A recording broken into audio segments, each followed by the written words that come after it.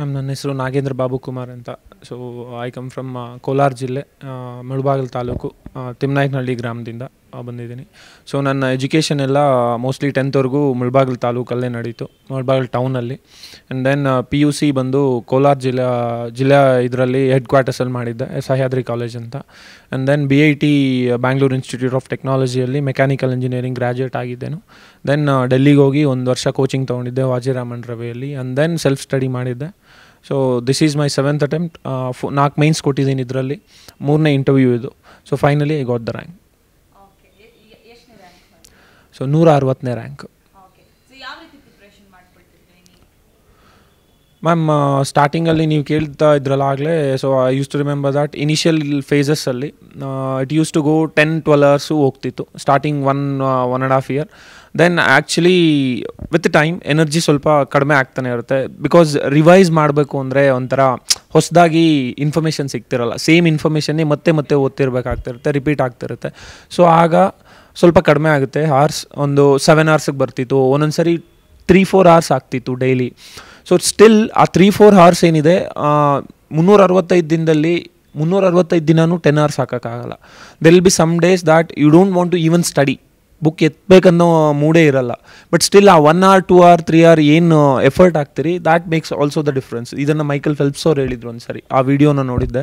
So ಇದನ್ನೇ ಒಂದು inspiration ಆಗಿ ತೊಗೊಂಡು ಒನ್ ಡೇ ಡ್ಯೂರಿಂಗ್ ಮೈನ್ಸ್ ಈ ಸರಿ ಮೈನ್ಸ್ ಟೈಮಲ್ಲಿ twenty hours twenty three hours ಆಗಿತ್ತು ನಾನು ನಿದ್ದೆ ಹೋಗಿ. ನಿದ್ದೆ ಬರಲಿಲ್ಲ ಅವತ್ತು ರಾತ್ರಿ ಆಗ ಇನ್ನೇನು ಹಾಫ್ ಆನ್ ಅವರಲ್ಲಿ ನಿದ್ದೆ ಬರುತ್ತೆ ಅಂತ ಒಂದು ಸೂಚನೆ ಬಂದಾಗ then I wrote an essay ಈ ಮನಸ್ಥಿತಿಯಲ್ಲಿ ಯಾವ ಥರ ಎಸ್ಸೆ ಬರಿಬೋದು ಅಂತ ಒಂದು ಸರಿ ನನ್ನನ್ನು ನಾನೇ ಚೆಕ್ ಮಾಡ್ಕೊಂಡೆ.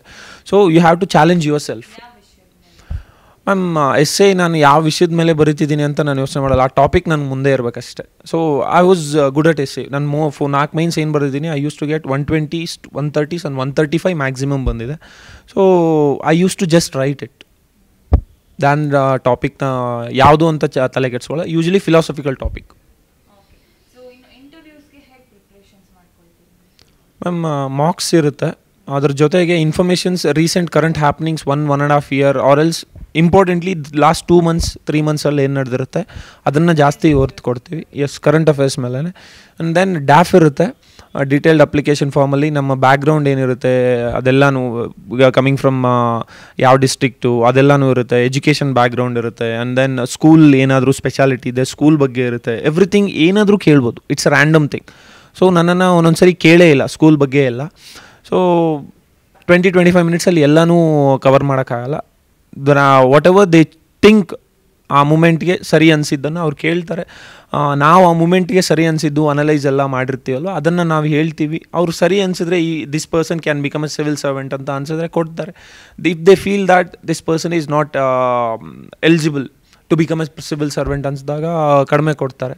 So it happens in this way subjective ಮ್ಯಾನರಲ್ಲಿ ಆಗುತ್ತೆ. ಫೈನಲಿ ಯಂಗ್ ಜನ್ರೇಷನ್ಗೆ ಏನು ಮ್ಯಾಮ್ ಡಿಸ್ಟ್ರಾಕ್ಷನ್ ಆಗೋದಕ್ಕೆ ತುಂಬ ಕಾರಣ ಇದೆ.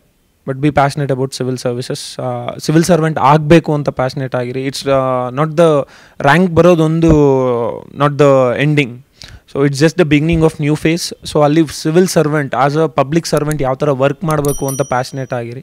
ಆ್ಯಂಡ್ ದೆನ್ ಕನ್ಸಿಸ್ಟೆಂಟ್ ಆಗಿರಿ ಡಿಸ್ಟ್ರಾಕ್ಟ್ ಕಡಿಮೆ ಆಗಿ ಫೋಕಸ್ಡ್ ಆಗಿರಿ. If you have that self belief and confidence you can do it